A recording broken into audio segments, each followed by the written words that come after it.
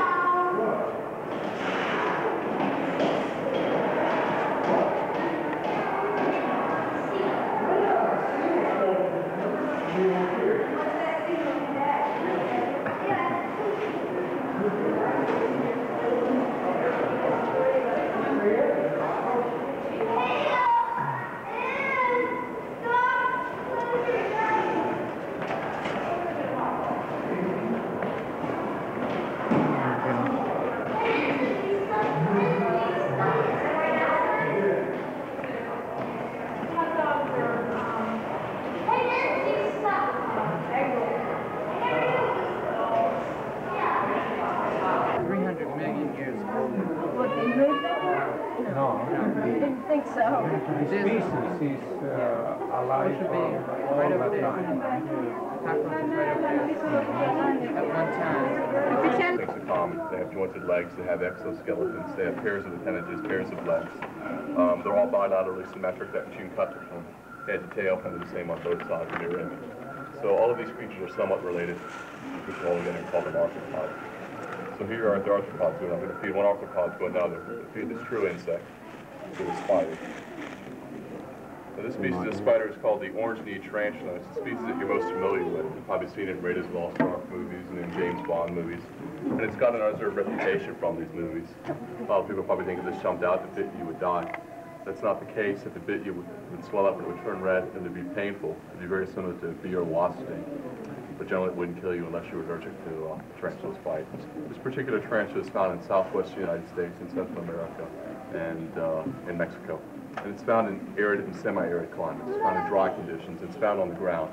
It's not a, uh, a spider that we find around here that spins a web in a tree or something, catches flying things. It catches crawling things. It's on the ground. Uh, today I'm going to feed it this cricket, but I want to tell you before I drop the cricket in here, they can go for up to two years without eating. So be fortunate if this one eats today. Um, go so long without eating because this is the peak of its activity right now. They sit in one spot, they don't expend much energy, they don't have to produce any heat, they're cold-blooded. And what they do is they sit and they listen, and have hairs all along their body, on their legs, on their subthorax, on their abdomen. And these hairs are attached to nerves, and they have a very acute sense of hearing. They can sense that we're here because we're moving around, we're shuffling. Um, this, uh, this very acute sense of hearing makes up for their lack of vision. They have eight eyes on the top of their head and a little clump right here. It looks like one eye, but these eyes are very small and very primitive. And all they can see is changes in light and blurred objects. So it wouldn't know the cricket was there unless the cricket was alive and moving around. So I'll drop this in here and tell them more about how it see how it reacts to it. Doesn't move at all. Uh, if it does eat, what it'll do is it'll pounce on top of the cricket, pull the cricket underneath its subthorax, which is this portion of the body where the legs are attached, pull underneath with its pedipalps, which are the two foremost appendages. They look like tiny legs in the front. And it has fangs underneath this portion of the body, and the fangs go into the cricket's body. The fangs are hollow like straws, and it injects an enzyme into the cricket's body. You get it? Yeah. Are you sure you didn't strike the miss? Yeah, I think you got it. I'm gonna pick this up and you can look in from the side. And the cricket should be dangling beneath the cephalothorax of the tarantula with the fangs inside of its body. And those fangs are hollow like straws, and it will inject an enzyme into the cricket's body. The enzyme digests the insides of the cricket turns the cricket's organs into a soupy mush-like substance. The tarantula sucks that out through its mouth. And what it does is it pokes it, and injects enzyme, and then waits the enzyme, waits for the enzyme to work, and then sucks it out, and then turns it around and pokes it again, injecting more and more enzyme. It kind of turns it around and around like corn on the cob, trying to get everything out of the cricket it can get. And all that's left of the cricket is the hollow shell of the cricket. Just the exoskeleton remains. It can't digest the exoskeleton and drops that on the ground and wraps it up in silk and walks away. If you're looking from the side, you can see the cricket dangling beneath the cephalothorax of the tarantula in front. You see it all? The cricket may even still be moving. Oh. Does anybody have any questions about tarantulas? How many legs does a tarantula have? Eight? That's right.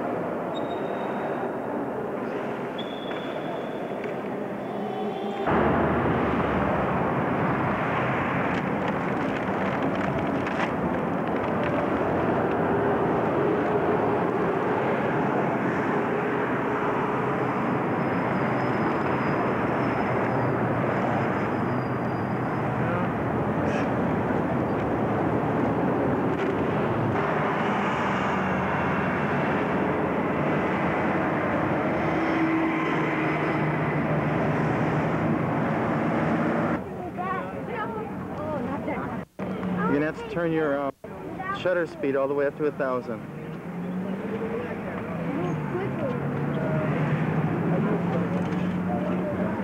Folks, if you're in line, keep moving.